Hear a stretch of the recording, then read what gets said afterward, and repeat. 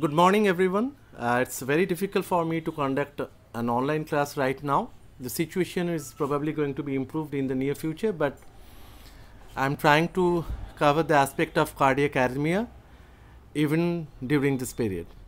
So, this is uh, the only probable way by which probably I can cover the initial aspects of cardiac arrhythmia. You need not have to be uh,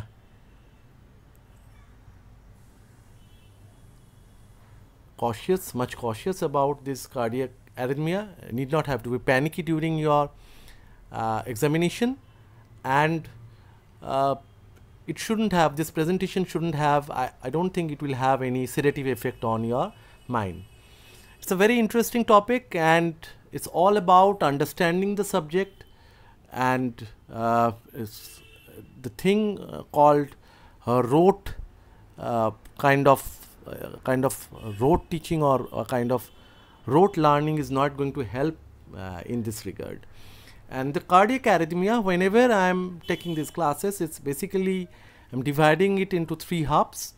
The physiology, obviously with uh, a little bit of pathology with that, and then comes the clinical aspects of uh, cardiac arrhythmias, and then I am focusing mostly on the pharmacological aspects. But uh, as you are postgraduate. So, I will try to intermingle or blend each one of the thing with the other one during each of my presentation and it is impossible for me to cover the whole aspects of cardiac arrhythmia in single presentation. So, let us start with uh, basic definition of cardiac arrhythmia. There is no specific definition. You can define it in a way that is basically uh, a disturbance of initiation or conduction of cardiac impulse. What does it mean? It means the problem is probably lying at the level of automaticity. That means from where the these pacemaker cells are generating the impulse or it's lying at the conductivity. That means whenever this thing is probably may arise from somewhere, it is transmitted uh, through uh, particular channel and that will be shown in the uh, next slide. And during this transmission probably this this myocardial cells or when it's transmitting from one cell to another it's getting some kind of obstruction. So, either the problem is lying at the level of automaticity or at the level of conductivity. When I am trying to define it clinically, we used to say that it's probably irregularity of heart rate or rhythm or even both. So, the simplest form of cardiac arrhythmia is tachycardia where you will see the heart rate is more than 100 and the simplest form of bradyarrhythmia is bradycardia where you will see the heart rate is less than 60 per minute.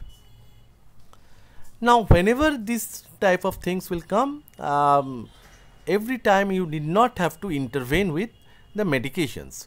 Normal healthy heart not genetically predisposed to arrhythmia. It is usually resistant to minor disturbances uh, like triggers, but sometimes it's becoming symptomatic, sometimes it's becoming fatal. Uh, like in case of uh, ventricular arrhythmias, uh, ventricular tachycardia, ventricular fibrillation, but that doesn't mean that if you are getting a loss of bit, uh, you, if you are getting some missing bits and you start prescribing a drug.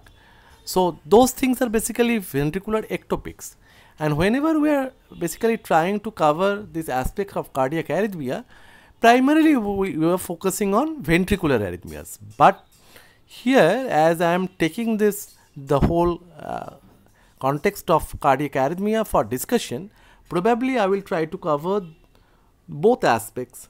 That means the supraventricular arrhythmias which involves AV nodal reentry, your um, atrial flutter, atrial fibrillation, paroxysmal supraventricular tachycardia. So, these are all kinds of atrial arrhythmias or supraventricular arrhythmias. That means those arrhythmias are happening above the level of ventricle. Whereas whenever we are trying to uh, discuss the ventricular arrhythmias, we will come to the topic of ventricular ectopics, uh, we will come to uh, ventricular fibrillation, ventricular tachycardia, torsade de pointes. So, these things will come into the picture when the clinical things are going to be discussed. But before going to the clinical aspect and also the pharmacological aspects because the pharmacology means the intervention of the pathophysiology pathology rather which pathology means it's, it's you are basically having alteration of physiology cardiac physiology. So before coming to that uh, let us just uh, have some idea about what are the kind of medications we have. We have some kinds of antifibrillatory drugs which prevent the development of atrial or ventricular fibrillation.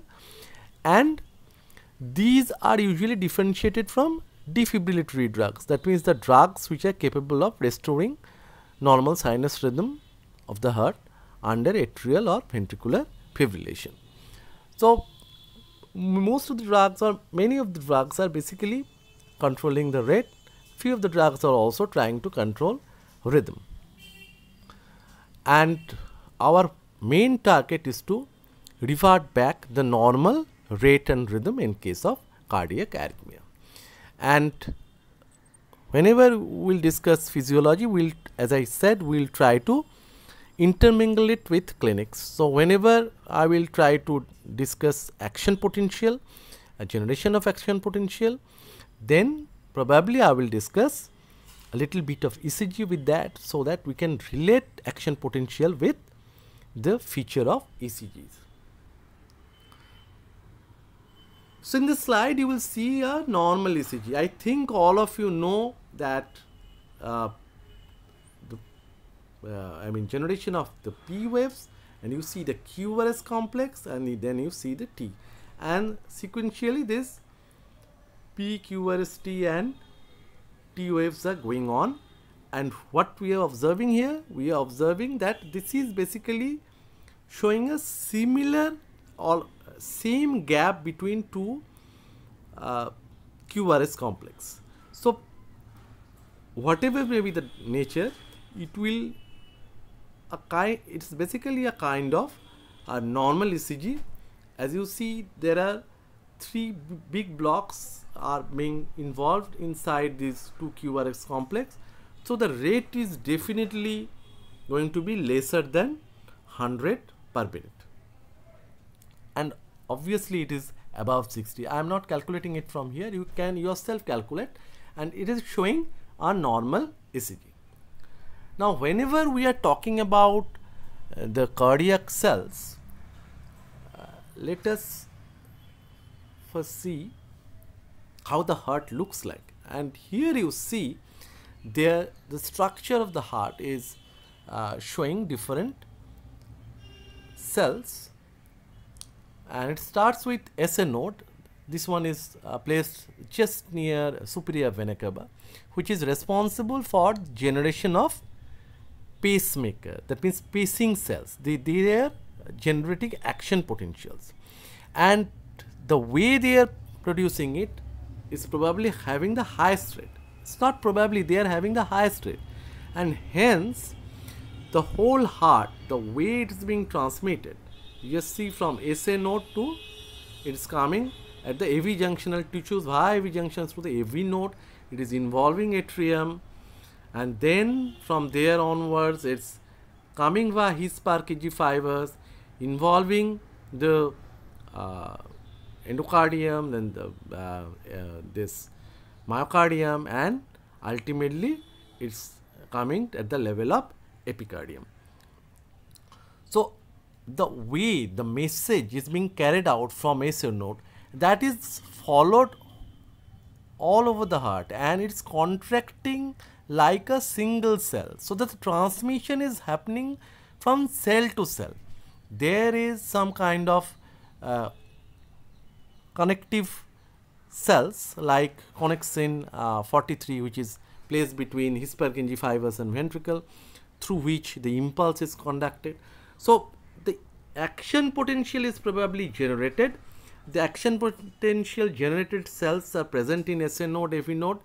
Uh, primarily, a few are obviously present in other sites, but the message or the command is being placed by SA node uh, that is carried out by the whole heart.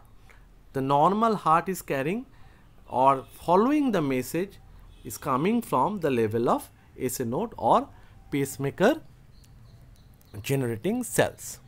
So, what are the different kinds of cells which are present in mm, heart?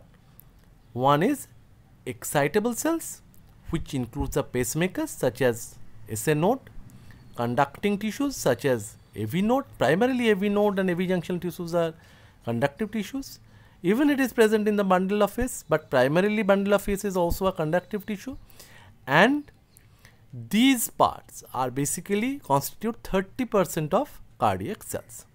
And there are some non-excitable cells almost 70 percent of this and it form the extracellular matrix of collagen and elastin fibers and the latter that means the elastin fibers decide the stretchability and stiffness of cardiac chambers especially the left ventricular wall. So, we are talking about two kinds of cells excitable and non-excitable. Here you also have to remember another thing and the next slide I am going to discuss on that matter.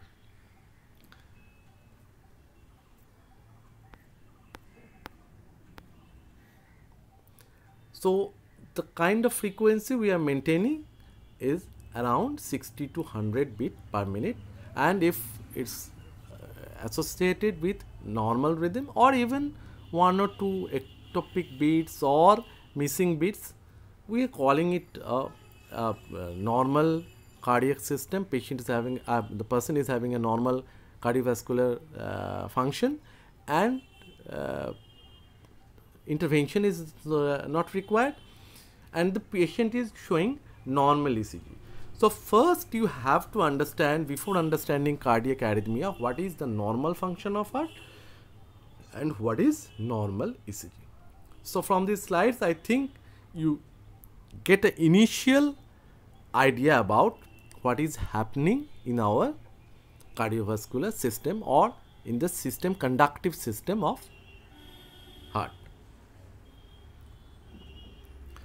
So, in the next slide you see almost it's a repetition of the same thing. This picture is taken from Goodman and you see again the uh, same picture is being depicted.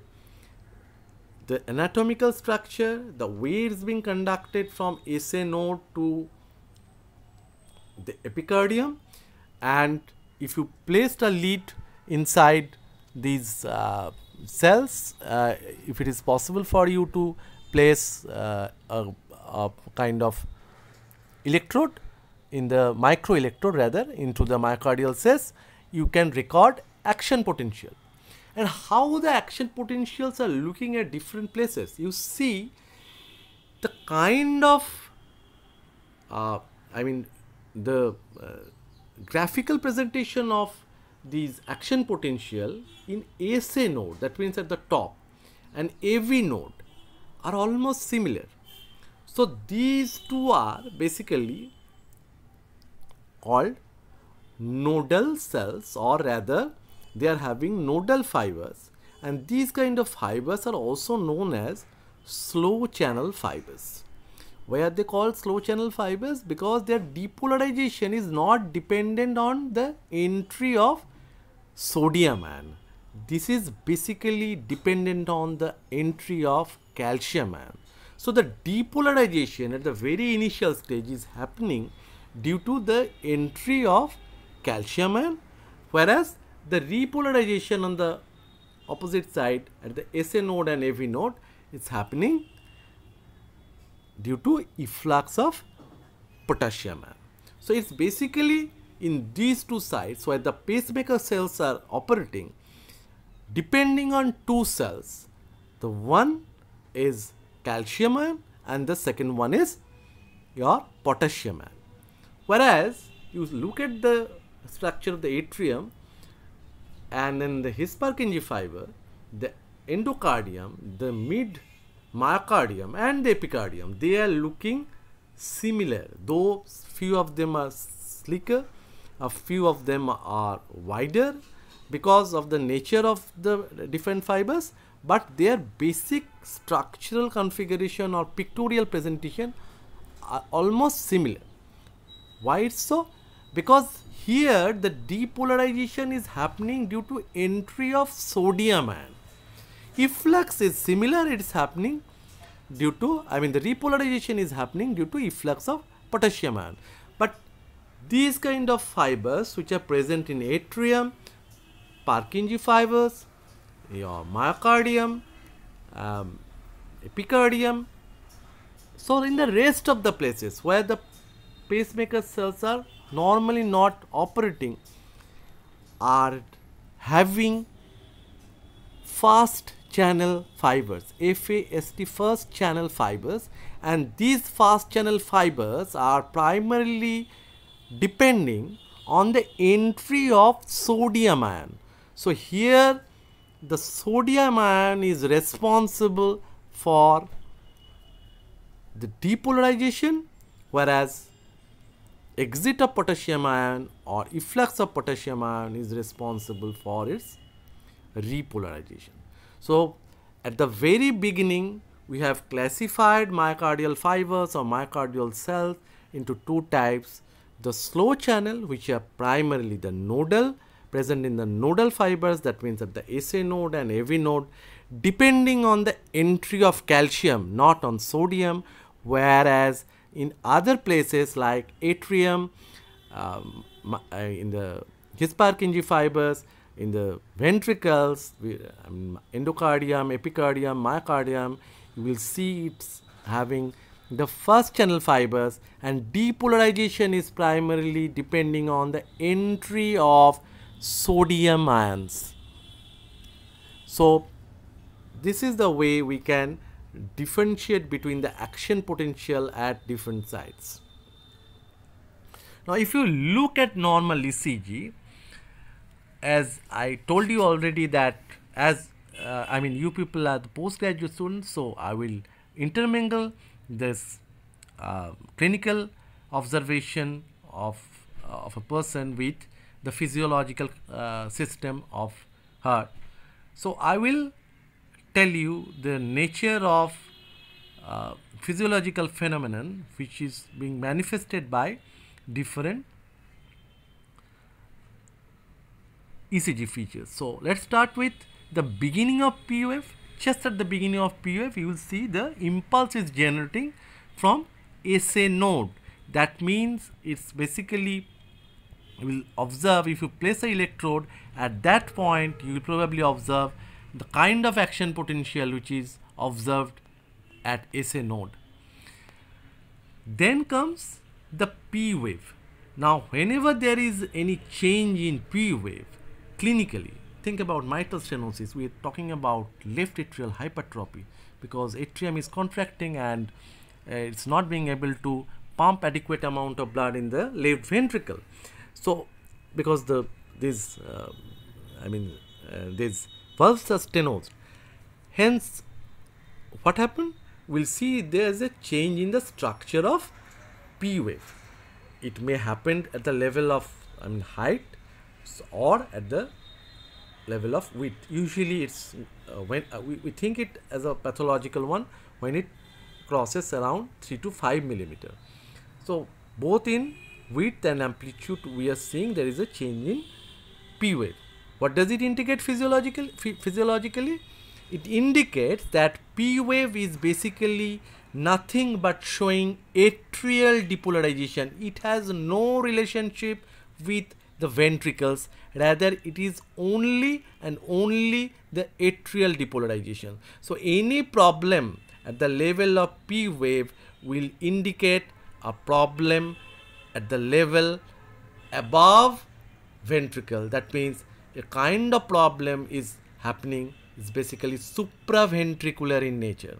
So P wave depicts atrial depolarization physiologically and even atrial depolarization is complete even before the uh, ventricular depolarization starts.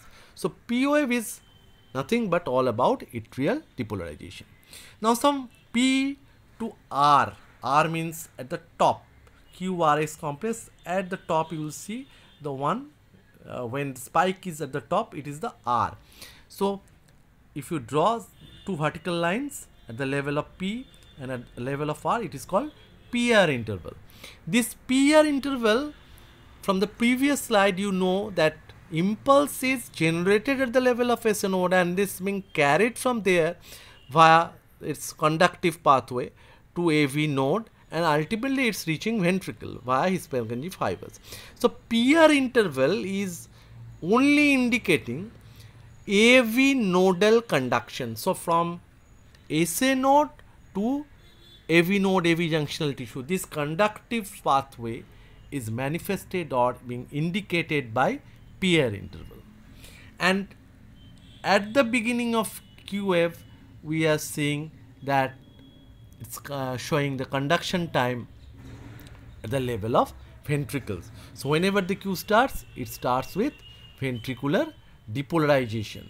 So ventricular depolarization is carried out Q R S complex and when in the next slide we will show you the ventricular repolarization, the phenomenon that is not manifested by QRS complex that is only manifested by the T wave. The T wave is almost looking like P wave, a little bit bigger than P wave, and it is happening at the end of one specific ECG features.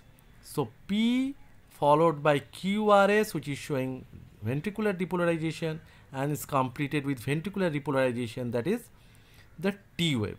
Then there is a gap and following the gap is basically the diastolic phase or is the phase of uh, diastolic depolarization and then there is a beginning of another P wave and again you see a QRS complex followed by a T wave. So it's going on. Now the thing is it is as it's been manifested in this figure in, of Goodman you can understand what is P what is Q, what is R, S and T. But sometimes we are mentioning one term as QT interval. QT interval in terms of cardiac physiology is nothing but a measure of the duration of action potential.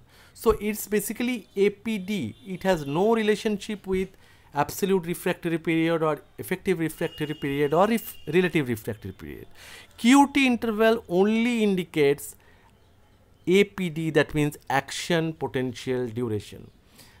That means from if you look at the above structure uh, from the beginning of if you look at the SA node so at the beginning of this depolarization to the end of repolarization it is basically action potential duration.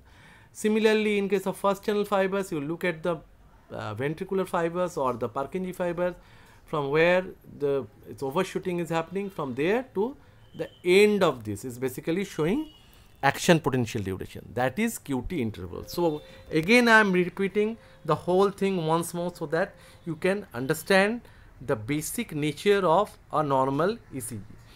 The beginning just at the beginning of P wave we are seeing the uh, generation of uh, is, uh, impulse and that is showing the activity of SA node. The P wave itself indicates atrial depolarization. PR interval is indicating AV nodal conduction. QRS is showing conduction time in the ventricles was basically depicting ventricular depolarization. T wave is depicting ventricular repolarization whereas from Q to T if you draw two vertical lines and join that it's showing in this figure this QT interval is a measure of action potential duration. So this is about the basic correlationship with the physiology with the clinical feature of a normal ECG and its physiological function.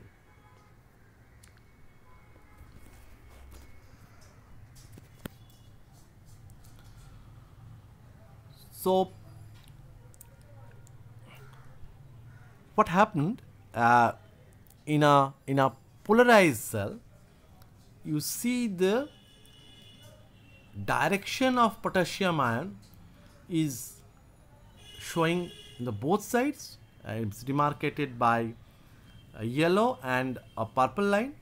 The yellow is showing it is going in favor of the electrical gradient whereas the purple line is showing that it is moving in the direction of the concentration gradient. Whereas in case of sodium ion almost always it is going in the same direction and it is going in the same direction because both concentration gradient and electrical gradient is sh showing the similar direction for this particular ion.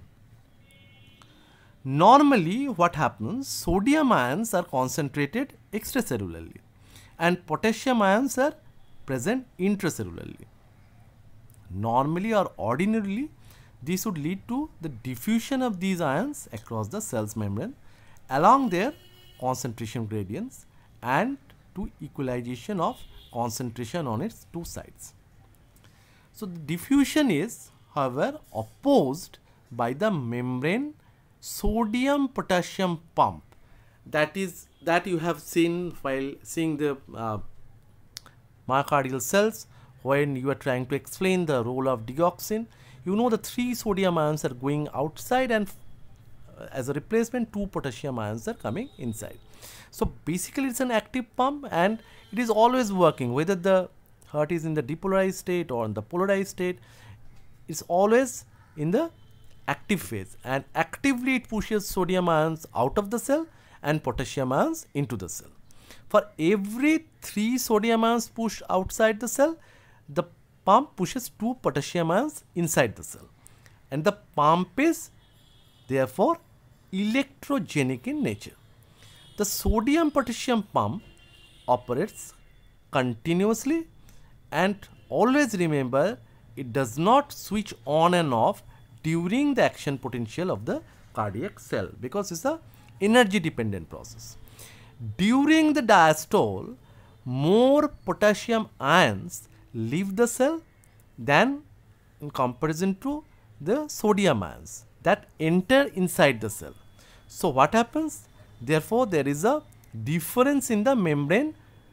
Uh, I mean, it, it is happening due to the difference in the membrane permeability and therefore, there is a net loss of positive charge because more potassiums are leaving the cell and the sodium ions are not entering in that, ma that manner.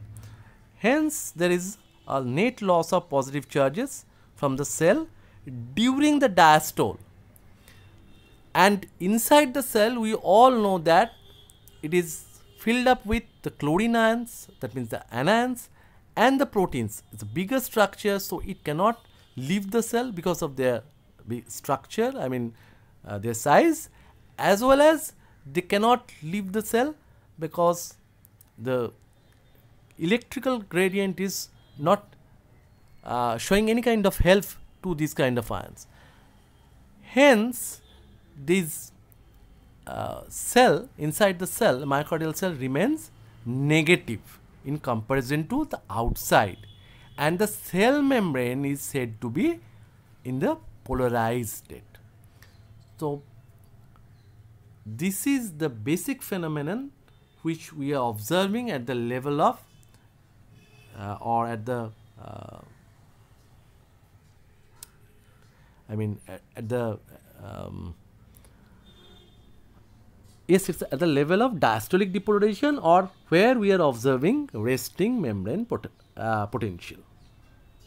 Now in the next one where we are seeing three cylinder like uh, cellular patterns, we what we are observing is basically the entry of sodium ion which is happening only in the fast channel fibers. So, at the level of ventricle, His-Purkinje fibers or atrium.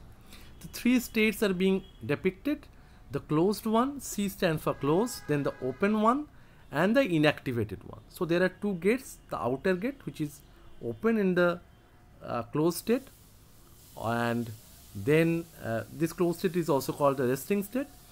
The inactivated uh, gate is uh, I mean it has no role to play at that moment because the outside is closed.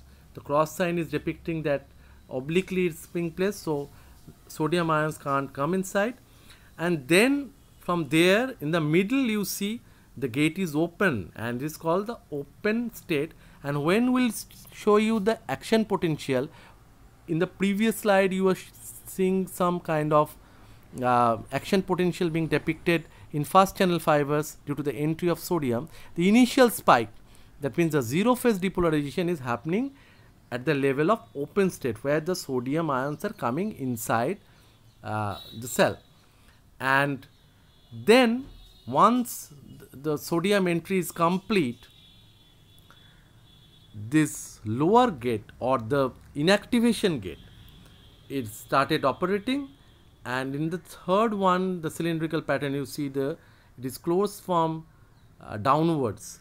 So the inactivated gate is closed. It is called the inactivated state and from there it is again going back to the closing state. So when it is coming at the level of inactivation state not all the sodium channels are operating at the same time. Probably at the beginning you will see the 25% of the cells are inactivated, then probably the 50%, then probably you will see the 100% of the cells are uh, inactivated and at that point when the 100% of sodium channels are inactivated, you will see a complete ventricular repolarization. So the depolarization is observed at the open state that is the ventricular depolarization whereas ventricular depolarization is showing at the end when the 100% of the sodium channels are inactivated with that we'll see the potassium efflux current is also started operating and I mean uh, this function of potassium is finished at the bottom. So in the next slide probably we will uh, try to explain this, this phenomenon in a better manner. So here in this slide we are seeing that the sodium current, the phase of depolarization and I had already shown you three states of sodium. This is basically a manifestation of the whole thing in a fast channel fibers. So basically the atrium, the ventricles and um, the His-Purkinje fibers we are seeing this kind of feature. But this kind of action potential is never going to be observed in SA node or AV node. So at the beginning you see there is a sodium current where it is coming at the level of open state and the phase of uh, depolarization may vary, the automaticity may vary even in different fast channel fibers. Then you see the calcium current it is of different types L type and T type. The L type is probably operating at the phase 2 most of the times inward rectifier potassium current which is operating at the level of resting membrane potential mostly at the level of phase 4 that is inward rectifier current depicted by IK1 and the outward current that is uh, depicted by three different genes are basically showing the efflux of potassium at the level of phase 3.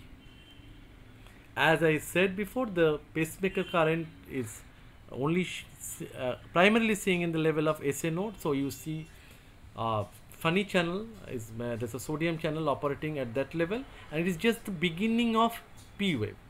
So here in ECG you will see it's happening at the beginning of P wave and throughout the P we will see these kind of changes that means the so uh, whatever is happening is happening due to entry of sodium ions and then the sodium calcium exchanger which is operating side by side with sodium potassium ATPase system.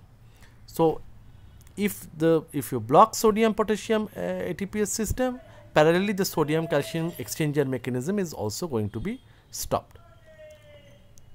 In the normal heart, only SA node and AV node are usually capable of spontaneous depolarization. That means that is a generation of an action potential without external stimulation. But sometimes discharge may happen from His-Purkinje fibers. It has its own potential. It sometimes has also happened at the level of ventricle. And as I said, the discharge in SA node at 70 per minute is faster in comparison to AV node. That is 45 around 45 per minute. And therefore the SA node is used I mean uh, called or it acts as a pacemaker.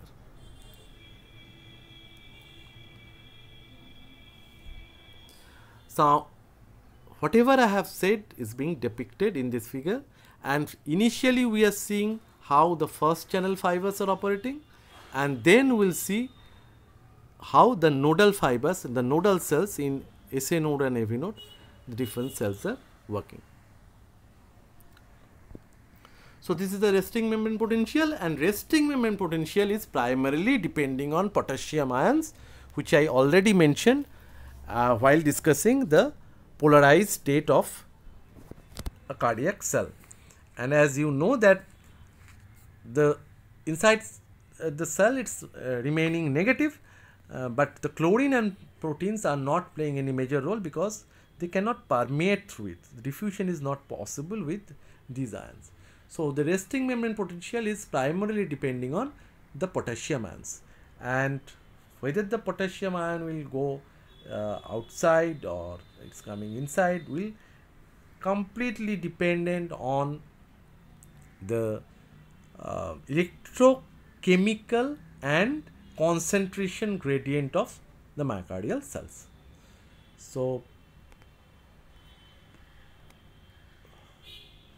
here the potential is coming from minus 90 to a particular level. It is uh, going towards positive side.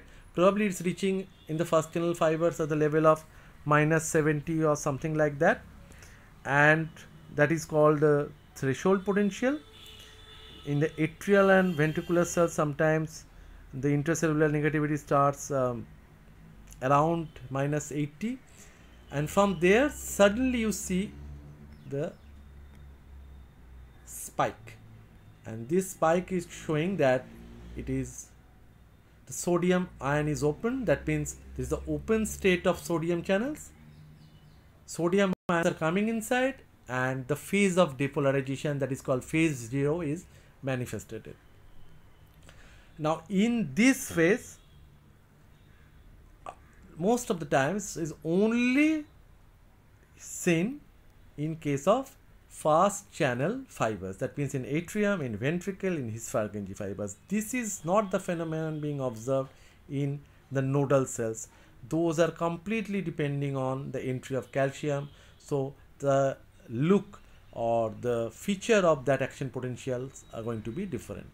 So this is the entry of sodium ion and uh, the way I have depicted three different types of sodium uh, channels this is basically called the open state this is open state and you see the sodium ions are coming inside and once it is reaching its peak then the sodium ch ions uh, channels are going to be uh, closed by the inactivated gate or the inactivated state will appear but it is not possible just at the beginning. Rather it is manifested by phase 1 and phase 1 is also happening due to entry of or rather uh, exit of not entry it's exit of potassium ion. So phase 1 is basically happening due to partial inactivation of the sodium channels. You see the sodium channels are closed, uh, the uh, yellow colored sodium channels, whereas these pinkish potassiums are little bit, the potassium efflux currents are also operating here. So it's basically showing uh, the phase 1. And then in the next phase that is called the plateau phase, characterized by partial inactivation of sodium channels probably in the phase 1 it is 25 percent in the next phase hypothetically it is around 50 percent and the entry of calcium ion. So, you see in the lowermost channels the calcium ions are coming inside and that is called plateau phase. Now this calcium channel which is depicted here in the fast channel fibers is responsible for phase 0 in the SA node and AV nodal cells. In phase 3, that means the phase which is characterized by almost complete inactivation of sodium channels is characterized by de uh, repolarization of uh, these um, uh, cells as well as the efflux of potassium ions. So, almost 100% of sodium channels are going to be inactivated at the end of this phase 3 and at the beginning of phase 4. This phase 4 is called the phase of diastolic depolarization. So, it's basically happening at the level of, I mean, at the time of diastole. And whatever the phenomenon you are observing, you are observing it in a cardiac cell which is bounded by a lipoprotein membrane and it has receptor channels crossing it. And these are all ion selective membrane spanning proteins which permit the passive movement of the ions like sodium, potassium, calcium and down their electrochemical gradient mostly during the open state but not during the closed state of any one of the channels. The ion channels, the same ion channels are also operating in the gap junction when the conduction is happening from one level to another from AV junction tissue to His Purkinje or from His Purkinje to ventricle the same channels are operating. So, the same mechanism is uh, operating everywhere and they are working in a synchronized pattern. So, that is the most important thing related to these action potentials.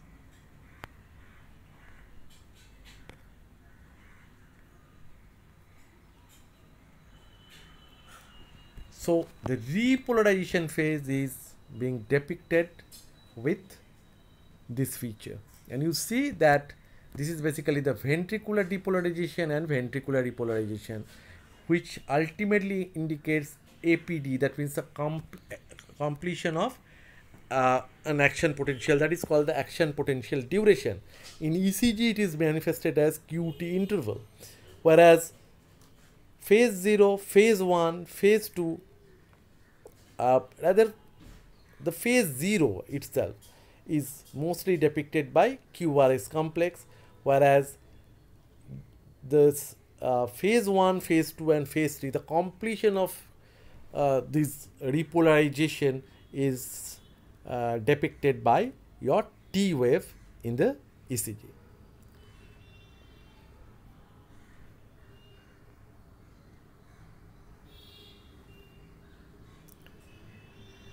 Now again these cells are closed and now we are trying to observe what is happening at the level of SA node and AV node where the operating channels are nothing but the calcium dependent action potential.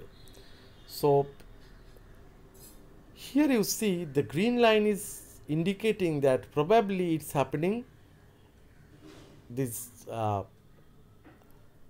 overshoot or this phase of phase 0 is happening above the level of or beyond the level of uh, these uh, positive voltage which is basically happening at the level of fast channel fibers. So, you see the nature of this depolarization is different and this green line is indicating that it is completely depending upshoot is showing phase 0 it is completely depending on the entry of calcium ion sodium ion has no role to play in these places is followed by the phase called repolarization and this repolarization is obviously uh, depending on the inactivation of calcium ions and efflux of potassium. So both in fast and slow channel fibers the role of repolarization is definitely partially depending on the efflux of potassium. That is common. But depolarizations are different. In case of fast channel fibers you will see depolarization is depending on the sodium channels whereas in case of SA node and AV node either in the nodal fibers where the pacemaker cells are operating you will see it's happening due to entry of calcium and you also can notify that it is basically lesser than these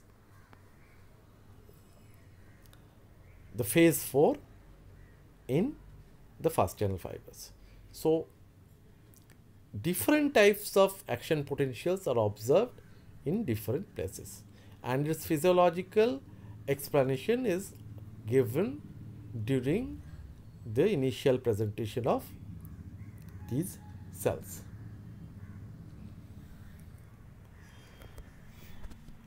Now this is basically a myocardial cell. It is present in the polarized state and here you will observe that the three sodium ions are going outside and two potassium ions are coming inside and this is also having it's always active. I mean in the polarized or in the depolarized state as it's a, a, ATP dependent process it's always active.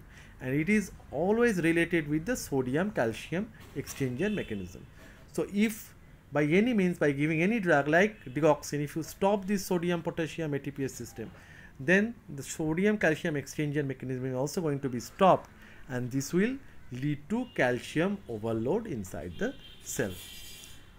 So this cell is indicating basically what is happening during resting membrane potential or what is happening at the level of diastolic depolarization or what is happening at the level of phase 4 and that is the reason why I have placed this uh, picture from Goodman in this presentation. Now I am concluding a part of uh, my the or the initial part of my presentation with this basic understanding of the medications used in ventricular arrhythmias. Because in arrhythmia in undergraduate curriculum or by term cardiac arrhythmia whenever the people will ask you questions even the postgraduate people they will ask you questions primarily on ventricular arrhythmia and these classifications of drugs are called Vaughan Williams Singh's classifications few of the drugs are placed beside this. That means they are also antiarrhythmic drugs but they are not falling in the category of Vaughan Williams Singh's uh, classification. So those drugs are digoxin adenosine magnesium this kind of drugs. But from your knowledge of physiology you need not require any kind of support now you know that there are some drugs which are definitely going to work at the level of nodal cells to primarily uh, control if, if you are talking about the cardiac arrhythmias or at the level of phase 2 where the calcium ions are coming inside because calciums are uh, playing its key role in both the fibers. In fast channel fibers, it is showing its action at the level of plateau phase, that's phase 2, Whereas in slow channel fibers, in AV node and SA node, it is showing the depolarization, that means phase 0. So, the drugs which probably will have inhibitory action on the calcium channels definitely have some action on the arrhythmia, whatever may be the nature, ventricular or uh, supraventricular. So, those drugs are categorized under Vaughan Williams Singh's classification. It is coming under class 4 drugs and those drugs are called calcium channel blockers. Now calcium channel blockers are usually of three types as you know phenylalkylamine derivative is verapamil and the diltiazem. These two are primarily having more effect on heart rather than blood vessels having cardiodepressant action because it's preventing the entry of calcium. Most of the times it is absolutely contraindicated in case of uh, reduce ejection fraction heart failure. But these drugs should be categorized as antiarrhythmic drugs. And they will act at the level of phase 2 in case of fast channel fibers and phase 0 in case of the nodal fibers that means SA node and AV node.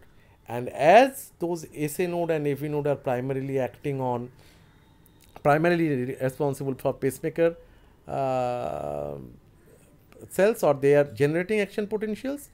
Hence these calcium channel blockers are probably going to be more effective in supraventricular arrhythmias. Think about paroxysmal supraventricular arrhythmia or some problem of uh, SA node from where it's generating more and more impulse, those verapamil and diltiazem are going to be most effective. Phase 0 is basically under the control of autonomic nervous system. It is depending on the balance of uh, or rather the uh, it's not the phase 0 resting membrane potential or the phase 4 that means it's depending on the balance between the parasympathetic and the sympathetic Parasympathetic is completely depending on acetylcholine and release of uh, the potassiums. So, and it's causing, you know that those things are causing bradycardia. Acetylcholine is responsible for causing bradycardia, whereas the sympathetic dominance will cover it up and making the heart rate normal and it is responsible for causing tachycardia. And as we all know, the sympathetic system is having, especially in the heart cells, are having uh, beta 1 receptors. So, phase 4 uh, action potential of phase 4 uh, rest uh, the resting membrane potential is depending on the potassium channels as well as uh, relative uh, balance between the cholinergic system and the uh, sympathetic system. And if you block sympathetic system by giving some kind of beta adrenergic receptor blockers that is going to be effective at that particular phase.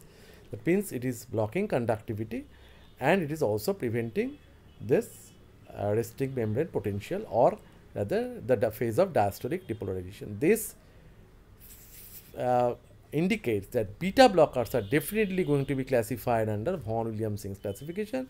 It is uh, there are two types of beta blockers. Most of the beta blockers are coming under the category of class 2. There is one exception which is having beta blocker like action which is itself a beta blocker but also having action on phase 3 that means efflux of potassium and hence it is categorized under phase 3 that drug is sotalol. So, beta blockers are primarily acting on the phase 4 action potential, phase 4 of action potential in fast channel fibers. And then comes the phase 0 we all know in fast channel fibers, that means in ventricular problems, also a little bit of atrial problems. Uh, we are seeing these fast channel fibers and depolarization is primarily depending on the entry of sodium. Whatever may be the state, it's a closed, open or inactivated state. Depending on this, you can subclassify these drugs, but primarily the drugs which are effective on ventricular arrhythmias are called sodium channel blockers. There are different drugs like quinidine, lignocaine, um, the drugs like flecainide, they are from different groups and their uh, uh, subclassification is based on their relative action on the open and inactivated as well as closed channels. So, these group is called class 1. So, class 1 or class A. Class 1 rather is subclassified into class A, class B and class C and they are all sodium channel blockers. So, sodium channel the first one the second one is first one is sodium channel blocker the second one is the beta blocker and the fourth one is calcium channel blockers now we just have missed one part that is the phase 3 of action potential and that is going to be described as the potassium channel blockers and for the moment you remember one name that is amiodarone now we can classify antiarrhythmic drugs on the basis of our knowledge in physiology into four types. Class 1 primarily on the acting on the fast channel fibers that is sodium channels. Phase 2 blockers uh, that means the plateau phase blockers are primarily the calcium channels, uh, calcium channel blockers like verapamil diltiazem and beta blockers also playing some role. Beta blockers are primarily acting on resting membrane potential and diastolic depolarization as well as it is having uh, action on the conductivity of the cell.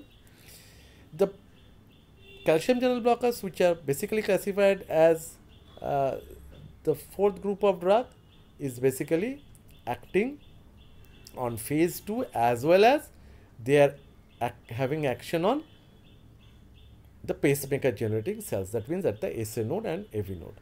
So both beta blockers and calcium channel blockers are responsible for decreasing conductivity.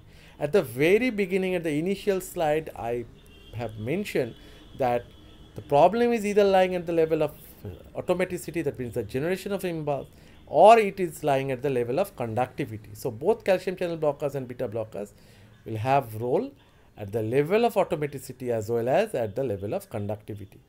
And calcium channel blockers are probably having more dominant role at the level of automaticity. So this is the way by which we can classify antiarrhythmic drugs and this classification is known as Vaughan William-Singh classification.